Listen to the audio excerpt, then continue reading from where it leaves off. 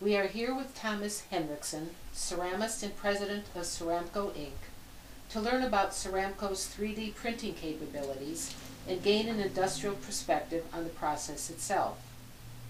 Along the way, Thomas will compare it to Ceramco's conventional ceramic parts manufacturing, ceramic injection molding, or CIM. So tell us, Thomas, is there a difference between 3D, AM, or LCM? Um, no, those, let's eliminate the confusion with the terminology. Those are really all the same.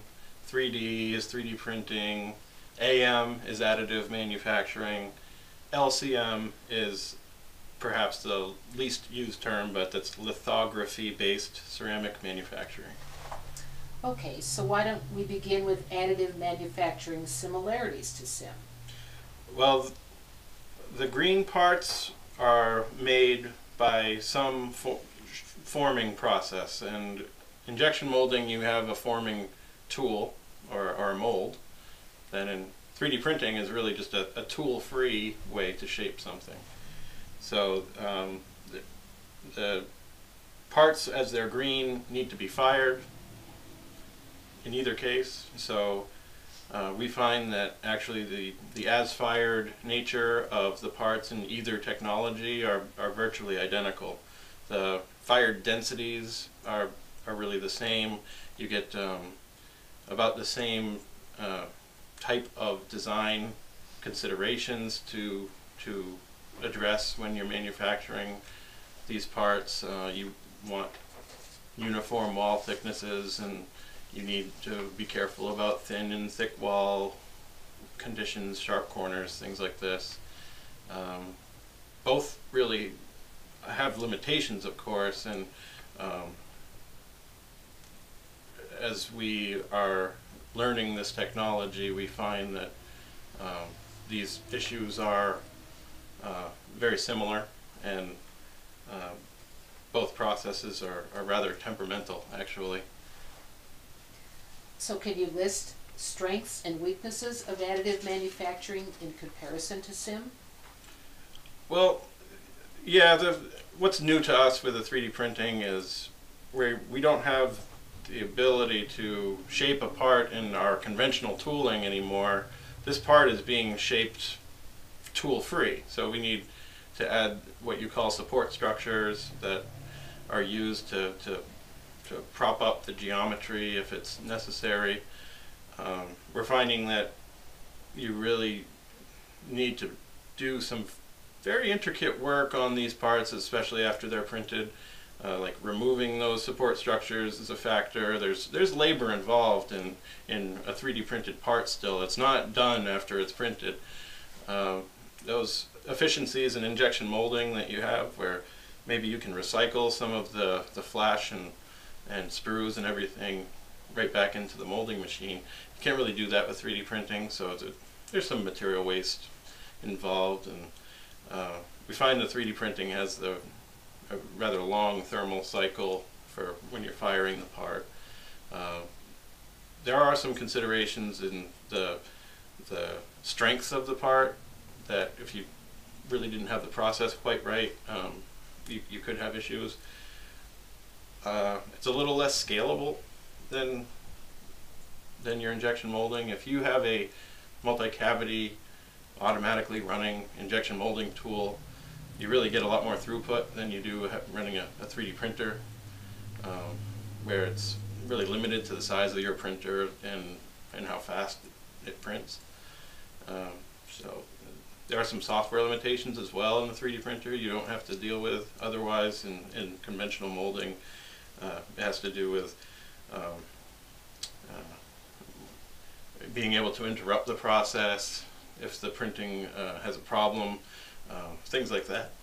Excuse me, things like that. And then uh, actually the, the cost at this point of the 3D printing is, is really a lot higher than injection molding. Okay, and now AM strengths? Oh, certainly strengths up. The, the being able to produce a design now that you couldn't make before, you couldn't, you can't machine that shape or you can't even mold that shape. That becomes a reality now. You can make a part uh, just about any design that you can come up with. So um, those are 3D printing only type of designs. We're okay with those. Uh, we certainly would like to align ourselves to uh, go into uh, production with a customer. So if it's a 3D printing only design, that may not bode well if they needed a really high quantity. But um, they can at least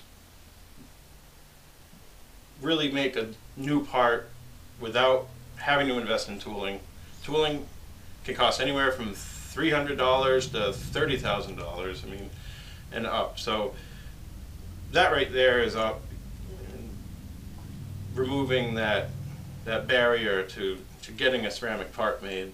And uh, you, you really can make a lot of small parts with a, a 3D printer. Uh, similar to injection molding, I mean, you, you don't generally make really large parts, and, and 3D printing, in this case, you don't either. So um, actually really small, complicated parts, you, you can print a lot of them at once. So you, you actually can make some good production with these machines in that case um, also in a in an automated sense because once you get into production with one of these machines making a part repeatedly um, you can set the machine and go home come back the next day and and have the parts done. So there's that component of of automation to it which is helpful for saving labor you know? And uh, in those situations you end you end up really dialing in the process just like you do in molding. So you can uh, fine tune that program and really improve the cycle time. Thomas, are there any significant differences in the physical or mechanical properties? There are. Uh, we we've only done some early work on this. Uh, if you don't have some settings in the printer just right, you can actually have problems with some of the strength of the layers and you really need to be cognizant of the direction you're printing a part in. If, if anything, you, you just need to be aware that there's possibilities of uh, some uh, weakness between the layers in, in production. So uh, we found that in your, you're printing in an XY plane and in the Z direction, you you think about the application of that part and and you may not print it in a certain orientation because it, it could actually break if there was a, a problem with the strength of the layers.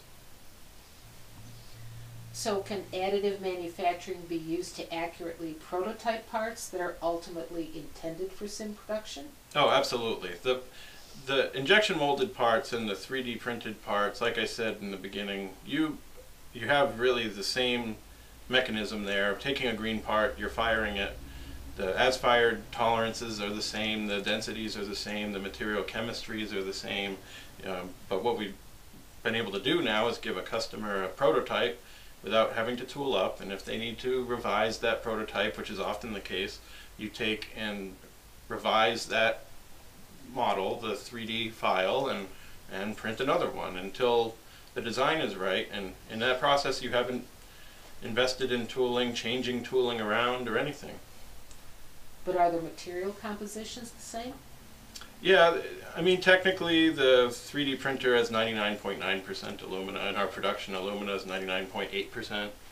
Uh, honestly, there's a very subtle difference there. Um, I mean, we've done some work making our own slurries as well, so that I mean, going to the powder metallurgy end of things, we can we can make specific chemistries if if required. Generally speaking, the alumina and the zirconia that we're running in the 3D printer are are the same as what you would get from an injection molded ceramic of the same material. So Thomas, can you summarize for us why Ceramco made its investment in additive manufacturing, and perhaps more to the point, how your customers benefit by it being here, especially those with parts destined for CIM. Well, the foundation of our company is is is making parts that really nobody else can make.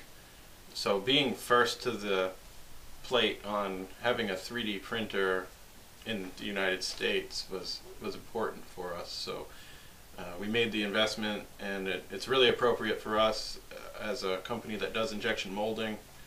Um, 3D printing has been done for decades already in other materials, just not ceramic until now. So uh, being able to do that and integrate it into our company was, was natural. Uh, the parts that we make are generally going to be the, the complicated, more complex type of geometries, such as an injection molding part usually is. And it, it, it works really well in the case a customer is buying an injection molded part maybe in the in the future. They need a prototype. As I said the uh, injection moldable part is really going to be made the same way Well, we want to thank you, Thomas Henriksen from Ceramco Inc., for spending time with us today. oh you're welcome thanks for your interest we have uh, only had the machine about a year so we're still very excited about it we've we've got all kinds of new ideas but please bring yours and uh, we would like to see what we could do for you